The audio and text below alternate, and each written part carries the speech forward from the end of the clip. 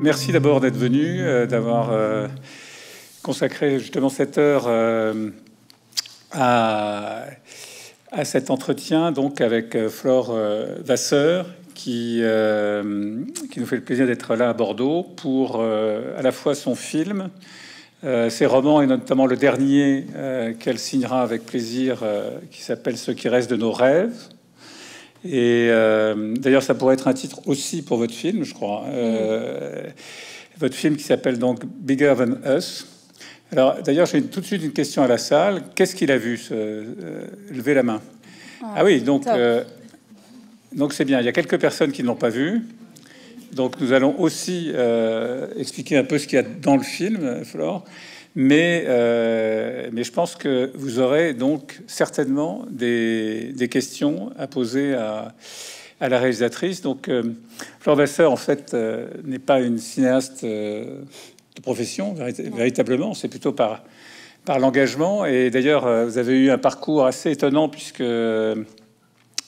vous venez, vous avez fait les études de sciences politiques à Grenoble, HEC. Ensuite, vous avez travaillé pour le luxe, ce qui est assez loin du film, euh, et vous, nous expliquerez peut-être le, passage, comment vous êtes arrivé. Et puis, petit à petit, vous êtes mis à, l'écriture, à l'écriture de romans, donc, et, puis à l'écriture de documentaires. Et c'est donc ce dernier documentaire qui est sorti cette année, euh, dont nous allons euh, parler. Donc, cette ce documentaire est assez étonnant et assez, prodigieux d'ailleurs parce qu'il nous fait découvrir, je crois, euh, enfin, en tout cas pour moi, et peut-être pour vous aussi, sept, euh, sept personnages, non pas en quête d'auteur, puisque l'auteur existe bien, mais euh, sept, euh, sept jeunes, euh, et même très jeunes, puisqu'ils ont été, ils se sont engagés quand ils avaient 11 ans, 12 ans, 13 ans, euh, dans des combats euh, et dans des combats non pas idéologiques mais euh, très pratiques me semble-t-il très très près de et donc là, là, le film je le dis pour ceux qui ne l'ont pas vu donc on suit on suit un des un des sept jeunes qui en l'occurrence une, une jeune femme Melati, c'est ça, qui est un, indonésienne ou néerlando-indonésienne, et qui, euh, qui donc accompagne, enfin, fait le tour du monde et euh, va voir les six autres jeunes euh, qui ont chacun euh, donc un combat dont nous allons, euh, dont nous allons parler. Et donc là, là pourquoi avoir choisi d'abord euh, effectivement de suivre un des sept et, en particulier Melati qui donc elle s'est engagée à, à Java puisqu'elle est originaire de Java, euh, Bali. de Bali, pardon, euh, de Bali, euh, pour lutter contre la contre la, la, prolifération des sacs en plastique. Et je crois que très jeune, elle a réussi à, à obtenir que, le, que, les autorités de Bali eh bien, interdisent l'utilisation de ces sacs en plastique. Alors pourquoi la prendre comme une sorte de, de témoin euh, dans ce parcours? Mmh. eh ben, Merci pour la question, merci d'être là euh, et de, de braver euh, euh les autres sollicitations et le temps. Euh, le soleil. Le soleil et peut-être euh, l'école pour venir me rencontrer. donc en fait, la chose est assez simple, c'est que moi j'avais déjà travaillé avec Mélati pour un précédent film qui mettait en lumière son travail euh, pour faire interdire les sacs plastiques à Bali. J'avais réalisé un documentaire avec elle en 2016. Et en la rencontrant, euh, je m'étais rendu compte, donc je pensais faire une petite histoire sur elle. Et en, me en la rencontrant, je me suis rendu compte que d'abord, c'était pas du tout une petite histoire et que Mélati en elle-même avait euh, une énorme, euh, enfin, énormément de choses à raconter, que je voyais chez elle euh, toute la la détermination, le courage, la lucidité que j'avais vu chez d'autres activistes plus expérimentés, euh, comme Edward Snowden, que j'avais rencontré juste à l'époque. Et je m'étais aussi rendu compte que euh, cette énergie-là qu'elle déployait à essayer de sauver son monde à elle, alors pour elle c'est Bali, euh, était quelque chose de fragile. Et d'ailleurs, je, fais le lien direct avec euh, ce livre qu'il a devant vous, parce que j'écrivais ça au même moment. Donc ce livre est, pardon pour le détour, mais raconte l'histoire vraie, c'est une biographie un peu romancée, d'un garçon qui s'appelle Aaron Swartz, qui a grandi aux États-Unis et qui a essayé par tous les moyens possibles de nous prévenir dès ses 14 ans euh, de euh, ce, que ce que Internet allait faire à nos vies. La façon dont ces géants, euh, les GAFA, allaient noyauter notre libre arbitre et progressivement tout ce qui nous restait de liberté. à l'époque où on, était dans, la découverte de ça. Il l'a fait dès 2004, 2005, 2006, 2007, 2008. C'est un garçon qui a fini par se suicider parce qu'il a été euh, parce que son message n'a pas été entendu, parce que tout ce qu'il a essayé de faire n'a pas été entendu, et que quelqu'un qu'on estime tous beaucoup, soit, enfin moi moins, mais voilà, comme Barack Obama l'a acculé au suicide en, en essayant de, de, l'intimider, en l'acculant à 35 ans de, de prison ferme pour, un, pour quelque chose de tout à fait mineur. Enfin voilà. C'est une histoire vraie et terrible euh, qui, euh, qui est une espèce de, de, point fou de ce que l'on est capable de faire à une jeunesse qui voudrait faire passer quelques messages. Donc à l'époque où je travaille sur le suicide d'Aaron, je rencontre aussi Edward Snowden, qui est donc pour moi l'activiste le plus avancé, le lanceur d'alerte le plus avancé, le plus aligné dans son acte. Et je rencontre euh, Melati, et je pense que ces trois personnes en fait fusionnent en moi et je vois Melati avec toute son énergie, sa passion. Euh, alors, elle est sur les sacs plastiques, on est loin de la liberté d'expression, mais pas tant que ça.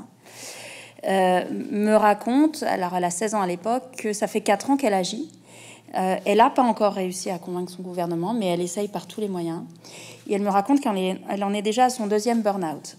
Et donc, Aaron est mort, Edward Snowden ne peut plus bouger parce qu'il est, euh, il est enfermé en Russie. Melati est là et Melati est déjà en train de mettre un, genou à terre. Et je me dis, je veux absolument qu'elle tienne. Et je fais la même chose que ce que finalement j'ai fait avec Edward Snowden, c'est que je lui propose de rencontrer des gens comme elle pour qu'elle comprenne qu'elle n'est pas seule. Parce que dans la vie, on a tous un problème, mais chez les activistes, c'est monstrueux. C'est la question de la solitude. Et il y a énormément d'activistes qui arrêtent, enfin en général on arrête à cause de ça. C'est l'impuissance plus la solitude, parfois ça devient insupportable. Donc on arrête ou on s'arrête, comme euh, Aaron.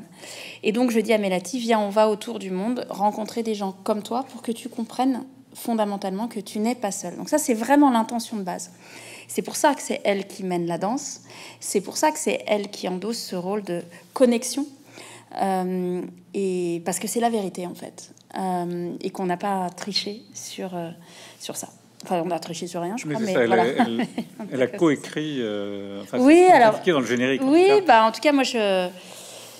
Bah, Aaron, c'est aussi le pape du, du droit d'auteur libre, du respect du droit d'auteur et du respect des auteurs. Donc voilà, moi, à partir du moment où je me mets dans le cerveau de quelqu'un, la moindre des choses, c'est de lui donner un minima le statut d'auteur et de partager la plume et de potentiellement ses revenus avec elle. Ouais. nous comprenons effectivement euh, votre lien avec euh, Melati, mais comment, comment trouver donc les autres activistes? Par des recherches simplement sur Internet ou est-ce que c'est par connexion par, euh, Est-ce que certains se connaissaient entre eux mm, mm. Puisque pour ceux qui n'ont pas vu le film, il y a à la fois le Brésil, Syrie, Liban, le Malawi, euh, l'Ouganda, enfin des, pays, des pays très, très différents, euh, les, États-Unis. En fait, dès le premier travail avec Melati en 2016, quand je la rencontre, je tombe tellement à la renverse devant cette énergie, je me dis mais est-ce qu'elle est toute seule ou est-ce qu'il y a d'autres personnes comme elle?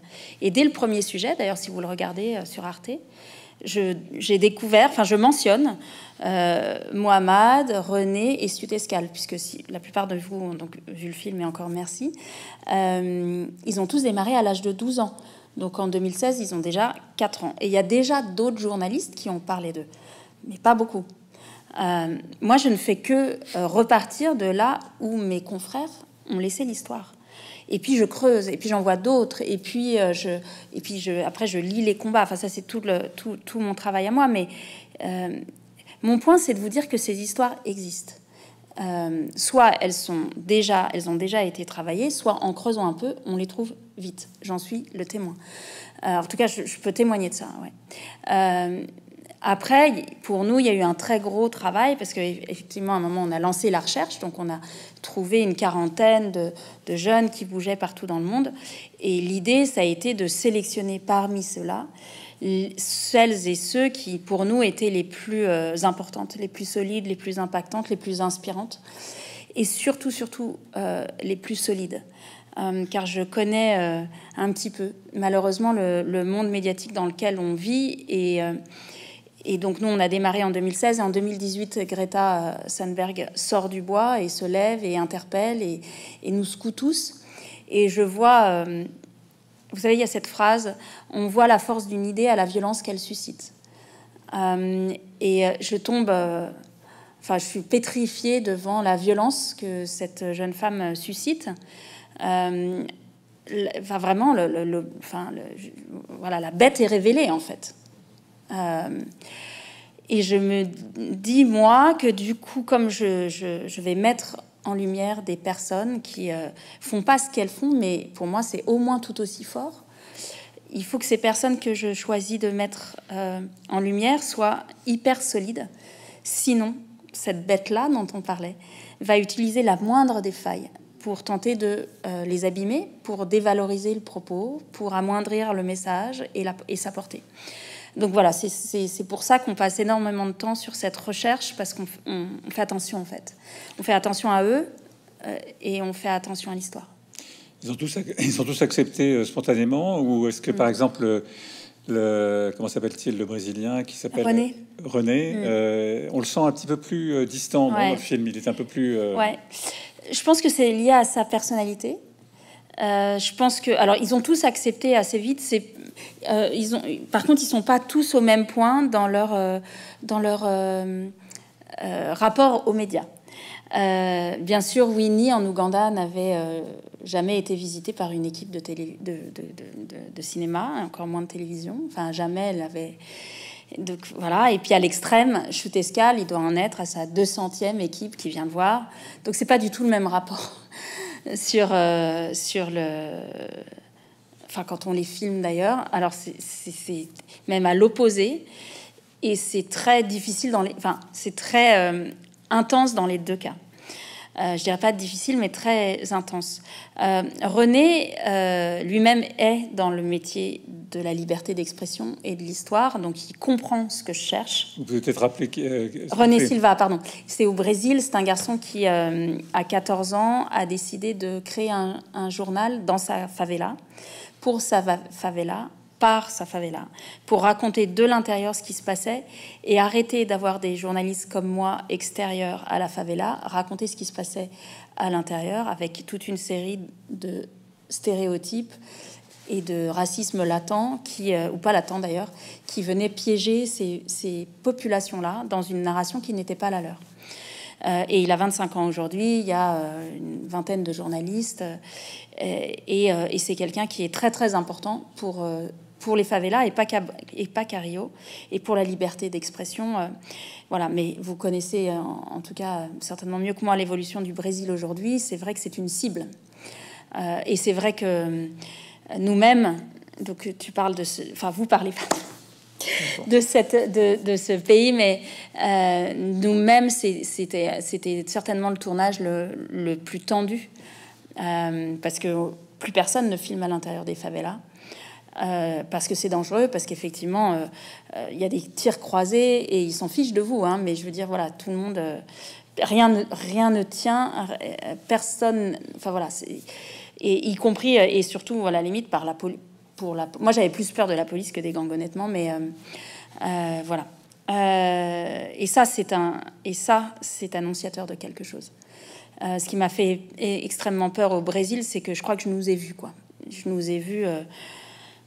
Enfin voilà, on est journaliste, on voit ce qui se passe dans le monde de la presse aujourd'hui et comment ça peut enfin des, petites choses. En fait, on glisse quoi. Chaque jour, on glisse et on se voit pas glisser, sauf qu'à la fin, on est vraiment tombé quoi. Et euh, donc, je suis pas sûre de répondre à la question, mais effectivement, René est, assez distant parce a, parce que c'est sa manière à lui de se protéger. Et le fait de nous avoir sur place, c'est aussi une manière de se protéger. Il le dit dans le film, la notoriété est comme une armure. Ce qu'elle tient, j'en sais rien. Mais, euh, voilà, donc euh, on était voilà, on était sur la pointe des pieds en fait dans ce tournage parce que c'est c'est effectivement son choix de nous accueillir. À la fin de la journée, on ne sait pas si c'est une bonne ou une mauvaise chose. La seule chose, c'est qu'il l'a accepté avec grande générosité et grand cœur. Il sait mieux que moi ce qui se passe. Donc s'il avait, voilà, s'il avait, euh, il a, voilà, il a fait son arbitrage. Euh, Bien sûr, ils ont, ils ont, vu le film tous. Ouais. Et alors, quelles ont été les réactions euh, des uns et des autres? Alors, très ému.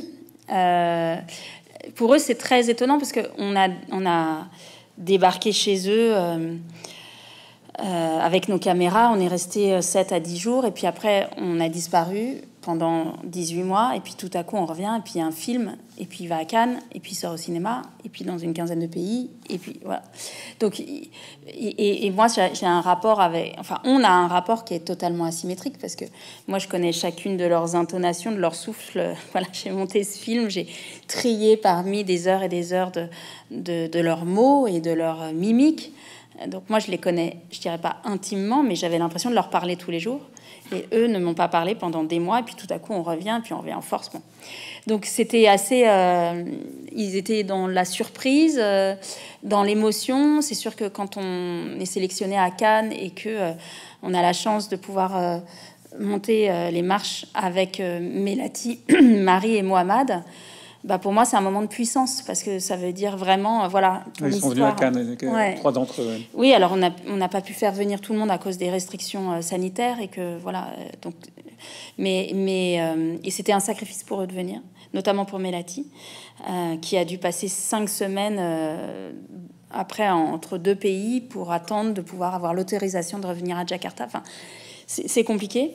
Donc c'était un vrai engagement de leur part, mais j'avoue que ce moment-là où ils grimpent leur marche parce qu'ils font, parce qu'ils sont ce qu'ils sont en fait. Euh, et qu'on montre le film à la profession, qu'on met ce film dans la boîte à images. Euh, là, c'était vraiment bouleversant, donc ils étaient extatiques de joie euh, de voir le film avec eux en se tenant la main, voilà. Et puis on a eu la chance d'avoir Mohamed et Marie qui sont venus accompagner la sortie du film en France et qui ont rencontré énormément de scolaires mais des milliers de scolaires. Aujourd'hui, alors le film est peut-être plus trop en salle, mais sachez d'abord qu'il y a 110 000 personnes qui l'ont vu, et notamment énormément d'enfants, parce qu'en fait, la salle ne vous laisse plus aucune chance, mais par contre, les profs euh, se saisissent du film et euh, montrent, j'imagine qu'ici vous êtes accompagné par des profs, merci à eux, euh, parce qu'en fait, ils se saisissent du film, et nous, on organise des projections en salle, pour les scolaires. Et parfois, on a des salles pleines de 400 enfants.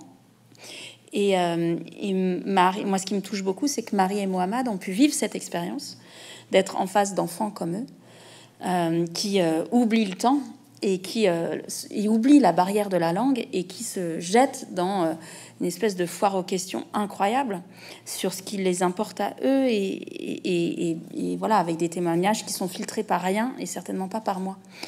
Et ça, c'est magique. que Mohamed est, un Syrien réfugié au Liban qui a créé très jeune une école pour les tout jeunes euh, dans, cette, euh, dans ce camp. Dans ce camp. Et, donc, il est, il est vraiment, j'imagine, intéressé par tout ce qui est éducation, euh, transmission aux plus jeunes, etc. Mm. Et, Marie, elle, est, est à, à Lesbos, euh, en Grèce, euh, en train d'essayer donc de d'aider les, les, les, Syriens ou d'autres qui veulent passer de Turquie en Grèce Alors, elle les aide pas, je, précise, parce que justement, il y a, y a enfin, la loi qui enfin, son, action, euh, son action euh, répond aux droits de la mer et à la Convention de Genève. Euh, et en fait, son action est d'éviter que les bateaux qui traversent, enfin, de permettre à ces bateaux qui traversent d'arriver en sécurité. Donc, elle ne les affrète pas, elle ne fait pas le jeu des trafiquants. À partir, la question est à partir du moment où les gens sont sur l'eau, Elle évite juste qu'il se noie. Je veux juste préciser ça parce qu'il y a une loi qui vient de passer le 8, le 8 septembre 2021, une loi grecque qui est passée dans le plus grand silence, qui rend maintenant cette action totalement illégale, en dénégation totale du droit de la mer, du code maritime et des conventions d'assistance, etc. Donc euh, voilà, et ça, je raccorde avec euh, ce qu'on venait de dire sur le journalisme et sur euh, René. Voilà, c'est passé, aucune aucun, aucun média ne s'en est offusqué. Y compris en Grèce, donc quand même. Y compris en Grèce. Y compris en Grèce, bien sûr. Alors votre film a un parti pris, c'est évidemment de prendre des jeunes. Mm. On l'a compris. Mais euh, parce que euh, vous auriez pu prendre des plus anciens, enfin mm. des, gens qui ont 30 ans, qui ont 35 ans, euh, sans aller chercher plus loin. Mais est-ce que, est-ce que ça veut dire, vous pensez qu'il y a un réveil euh, de la jeunesse, puisque vous montrez, vous montrez une image de Greta mm. Thunberg euh, mm. au, début du film. Euh, donc c'est un petit peu la figure tutélaire de cette, de cette jeunesse qu'on appelle woke. Euh, est-ce que c'est ce parti pris est une l'idée que, que vous faites euh, plus généralement de la jeunesse ou est-ce que c'est un, simplement un parti pris Il y a plusieurs choses. Alors c'est un parti pris de maman à la base. Hmm. Euh, moi je réponds à la question de mon fils qui à l'âge de 7 ans me dit maman ça veut dire quoi la planète va mourir? Hmm. Et malgré les livres, enfin tout Snowden, etc., je me rends compte que je suis incapable de lui répondre avec des des mots à lui, avec des référents qui lui ressemblent. Tout mon travail pour l'instant a porté sur des adultes, avec des adultes, pour des adultes, et en grosso modo, ça servait à rien. Donc, euh, je, voilà, et je me rends compte que euh, mon fils, qui a 7 ans à l'époque, c'était il y a 4 ans, est en train de, pour la première fois de me parler de son éco-anxiété, et que là, effectivement, il n'y a pas vraiment de corpus de messages qui permet d'adresser ça. Et je me dis, bah voilà, je vais faire ça. Donc c'est un premier parti pris de maman. Après, je découvre Mélati. Enfin, voilà, c'est vraiment une espèce de d'épiphanie. Enfin, de, voilà, je tire un fil et je me rends compte qu'il y a beaucoup de choses qui. Enfin, c'est la pêche miraculeuse, honnêtement. Euh, mais et Greta arrive après. Nous, on a démarré bien avant Greta. Et eux ont démarré à l'âge de 12 ans, je le rappelle. Donc c'est vraiment, on est, sur des, on est sur quelque chose qui vient de loin et qui a toujours existé. Enfin, on a tous été jeunes un jour. Voilà, il y a toujours ce moment dans la vie où vous avez envie de bouffer le monde et de vous dire euh, ça m'appartient, c'est mon monde, etc. Juste aujourd'hui, on est dans une société qui te dit non, c'est pas vrai. Tu dois avoir peur, tu dois rester chez toi. Si tu sors, euh, tu vas tuer les gens. Enfin voilà, on est dans un truc complètement délirant à l'égard de la jeunesse. Donc, je, mais ça, c'est quelque chose qui est récent. Enfin, je pense que ça a toujours été là. La pandémie a accéléré et révélé ces choses. Euh, mais, mais, le point, c'était de dire, euh, je, je, suis absolument révoltée, en fait, par ces stéréotypes qu'on plaque sur cette génération dite Z. Donc voilà, on va les traiter de d'une génération qui serait déconnectée, pas lucide, irresponsable flemmarde. Euh, et moi, je, alors un, c'est pas ce que j'ai vu, c'est pas ce que je sens. Et trois, je me dis, mais qui est-ce qui pose en fait ces stéréotypes-là? Irresponsable, déconnecté, irréaliste? Qui, en fait, c'est ma génération qui, qui, qui, qui, cadre les choses comme ça. Donc, pour moi, il y a une part effectivement de colère et de parti pris qui est de dire, mais non, ça c'est voilà le récit dominant. Il est fait pour effectivement mettre tout ça sous cloche je pense que ça sert un propos, ça sert une finalité, parce qu'effectivement, si la jeunesse se réveille, alors là, il y a quelque chose qui va se passer. Et c'est pour moi l'enjeu. Euh, euh, voilà, c'est vraiment, vraiment l'enjeu. On l'a vu sur le climat. Euh, je, veux vraiment euh, voyez, tout mon amour et, ma gratitude à le mouvement qui a été porté l'année dernière, avec, il y a deux ans d'ailleurs, avec l'affaire du siècle. Ils ont gagné. Ils ont, hier, ils ont gagné. Ça y est. Alors, c'est une victoire. Elle n'est pas que symbolique. C'est plus compliqué que ça. N'empêche que quand la jeunesse se mobilise, parfois des pouvoirs entendent. Et là, je pense que le, judiciaire, enfin voilà, a entendu que ça répondait à une aspiration de société. Tant que cette aspiration de société n'est pas révélée, il n'y a aucun intérêt pour les politiques à bouger. Donc, euh, et aujourd'hui, qui a envie de vivre? J'espère. C'est cette génération-là. La génération des adultes, on est, euh, enfin des adultes, en tout cas la mienne, j'ai l'impression, alors peut-être que c'est des stéréotypes, le récit dominant, c'est qu'on est trop confortable pour bouger. Il y a trop de, il y a, il y a, trop d'inconvénients à changer. Cette génération, elle n'a pas ces inconvénients-là. C'est de toute façon une poudrière. C'est Mélati sur son mur. Voilà.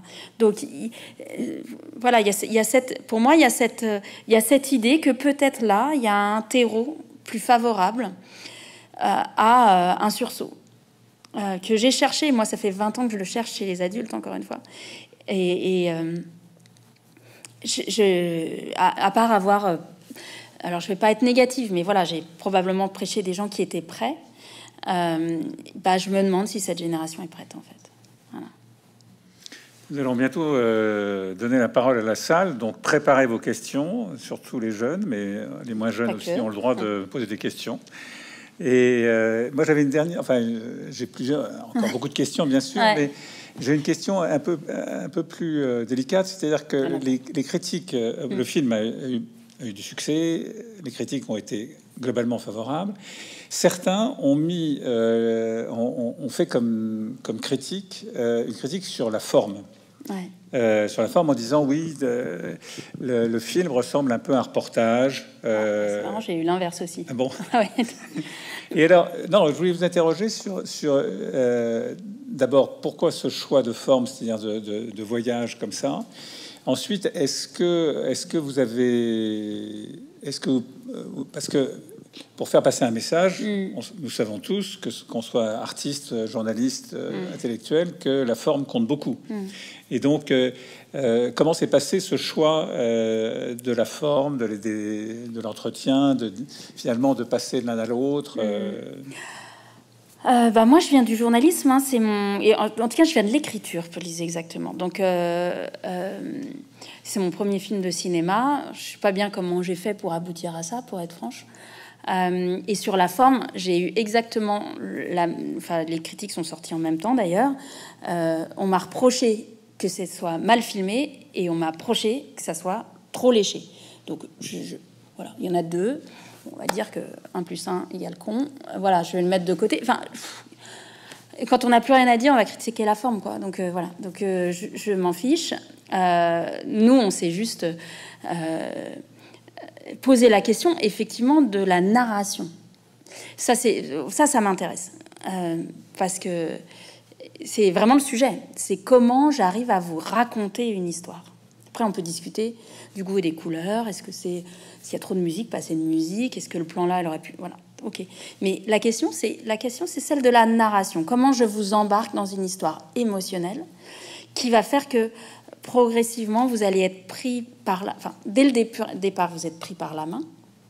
Et à la fin, je vous lâche. Et j'espère, avec un certain nombre de, d'émotions, de vécus, de ressentis qui seront les vôtres et qui vont vous permettre de faire quelque chose avec cette émotion.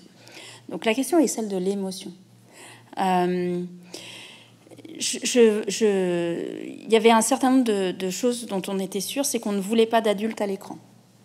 Donc moi, je me suis effacée complètement du, du, euh, dispositif. Euh, je ne voulais pas que ça soit des enfants qui aillent voir des adultes qui leur expliqueraient le monde. Ça, ça a été déjà fait et ce n'est pas le but. Le but, c'est, pas mon point. Le point, c'est justement de dire cette génération a compris des choses que nous, soi-disant adultes, avons du mal à saisir. Donc c'était ça mon point. L'autre point, c'était euh, de dire c'est un énorme voyage, effectivement. Et je voulais rendre, je voulais montrer cette beauté du monde. Je voulais montrer cette, non seulement des personnes, euh, euh, mais aussi de, voilà, de ces villages au Malawi, de ces routes, de ces, euh, de ces décors. Je voulais, je me souviens très bien que le premier jour de montage, ma monteuse me dit bon alors à qui s'adresse le film? C'est les jeunes, oui, c'est les activistes, oui, c'est les profs, oui. Je dis, mais tu sais quoi? On va faire un film pour les extraterrestres. Ah, c'est le, titre aussi. Hein. Ah, elle mais qu'est-ce que tu veux dire? Je dis, je veux que tu fasses un film qui montre combien cette humanité était belle et combien, faute d'avoir accepté sa fragilité, elle a disparu. Donc je voulais montrer l'absolue beauté, je voulais montrer la fragilité, je voulais montrer l'être humain face aux défis, face à ses choix. Je voulais montrer ce que ça voulait dire de se dire qu'on était connecté avec quelque chose de plus grand que soi. voilà, donc c'est et la forme vient servir cette idée-là. Alors voilà, on peut on peut revenir à est-ce que c'est un est-ce que c'est trop fictionné ou alors à l'inverse, encore une fois, on va me dire c'est un reportage. J'ai du mal à saisir voilà l'éventail et, et, la contradiction. Maintenant, euh, voilà, il n'est pas pour tout le monde et il n'est pas parfait et il n'est pas et c'était pas le but en fait. nous allons peut-être faire réagir la salle sur ce point-là et sur bien d'autres points. Est-ce que vous avez quelques questions? Sinon, je vais continuer à en poser moi. Mais mm. la Madame. Je l'ai raté. Et est-ce qu'il est sorti en DVD Alors, il est. Ouais. Alors, euh, ça c'est la, c'est le mur euh, dans lequel euh, on est et qui est compliqué. Alors, il va sortir en DVD. Nous, on est dans, en France, vous savez, il y a une chronologie des médias. Donc, vous pouvez pas faire n'importe quoi. Malheureusement, d'ailleurs, parce que sinon, j'aurais bien fait. Non, non, non, non, pas du tout, madame. donc, le DVD arrive fin janvier. il y aura aussi la VOD. Et puis, on va rentrer dans un alors, les films est d'abord toujours un peu projeté. Il faut chercher les salles. Alors, je ne sais pas si Bordeaux, machin, mais vous pouvez. Ils ont toujours le film. Donc, vous pouvez tout à fait aller les harceler et leur demander de programmer une séance. Ça se fait. S'il y a des profs dans la salle, alors nous, on a toute une organisation en place pour continuer à organiser ce qui s'appelle des sorties scolaires. Euh, et ça arrive. Voilà, sachez que 2000 classes ont vu le film. Pas en classe, elles sont venues au cinéma voir le film. ça, c'est une organisation qu'on a mis en place et qui continue. Je ne saurais pas vous dire combien il y a des séances, mais rien que la semaine dernière, il y en a eu 648. Voilà. Donc c'est tout à fait possible. Donc si vous êtes prof ou à la tête d'une association ou que vous avez un groupe et que vous pouvez, euh, voilà, vous nous écrivez à jour de fête au mois. Enfin, je vais vous donner les adresses, mais et on organise ça pour vous c'est tout à fait possible. On rentre dans, vous savez, il y a les séances publiques et ça, les exploitants font avec ce qui est la réalité du cinéma aujourd'hui. Donc je l'ai dit parce que c'est pour tout le monde. Pareil, il y a 60% de trafic en moins, donc les gens ne, ne retournent pas au cinéma. Et il y a 40% de films en plus. Donc c'est l'effet ciseau dans lequel toute la profession est. C'est une catastrophe pour beaucoup de monde. Et nous, parce que on, a eu ce film, parce qu'on a beaucoup travaillé avec les scolaires, on échappe un peu à ces fourches codines là. On a réussi à, mettre quand même 110 000 personnes en salle. Donc c'est bien en trois semaines. Mais c'est possible si et seulement si ce flot de citoyens qui dit, bah en fait, il y a la réalité de la salle et ses complexités avec James Bond et Dune qui sortent au même moment et qui vont certainement remplir plus facilement des salles que ce film mais il y a aussi la réalité de euh, le cinéma reste un espace démocratique là où les où on peut vivre. Enfin, je trouve, moi, je suis ravie que le DVD et tout ça arrive, mais franchement, voir ce film tout seul devant son écran, ça me, ça me fait de la peine pour vous parce que euh, quelque part, il est tellement. Euh, d'abord, c'est pas le même confort de visionnage, mais il y a la protection de la salle aussi. Il y a le fait de vivre quelque chose en commun. On a accompagné beaucoup de séances et on le fait encore. Hier, j'étais à Limoges. La semaine prochaine, je serai. Bon, on, continue notre travail qui fait partie de ce travail aussi d'accompagnement du film et de discussion comme avec vous aujourd'hui. Le film est un point de départ d'une grande conversation. Donc voilà.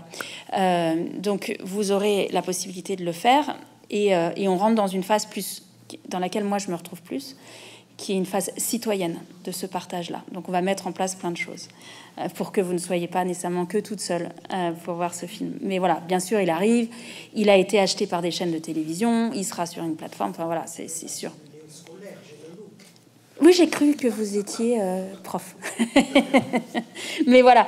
mais, les associations aussi, Amnesty a organisé je crois, 12 à 15 séances avec tout son public jeune. Il y a une soixantaine d'organisations euh, et de partenaires, enfin d'associations partenaires. Vous pouvez euh, les rejoindre, regarder ce qu'ils font, etc. Là, ça va commencer à émerger. Mais c'est vrai que nous, notre, euh, espoir qui était que le film dure majoritairement plus longtemps en salle, n'a pas été possible parce qu'on est dans un moment où en fait, on n'a pas encore compris, mais où les exploitants laissaient une chance au film deux, trois semaines, et ce qui permettait aux gens de se dire, bah tiens, je vais aller voir le film la semaine prochaine. En fait, ça, ça n'existe plus. Et on n'a pas encore compris que pour ceux qui voulaient aller au cinéma, quand il y a un film qui vous plaît, allez-y tout de suite. Mais tout de suite. Bon, à part pour, encore une fois, les dunes, les trucs, les machins, qui sont des machines à cash. Mais à part pour ça, c'est vraiment... Euh, enfin, c'est une catastrophe pour l'industrie, hein, honnêtement. Euh, euh, de toute façon, quels que soient les films, on s'engage pas dans ces films-là. enfin, la fleur au fusil, c'est des, c'est des, c'est des, c'est des, c'est des, presque des mini-entreprises à chaque fois. Il y a énormément de personnes impliquées. Pour, pour un film rester une semaine à l'affiche, c'est une catastrophe en fait. Mais c'est ce qui se passe pour tout le monde en fait. Merci beaucoup.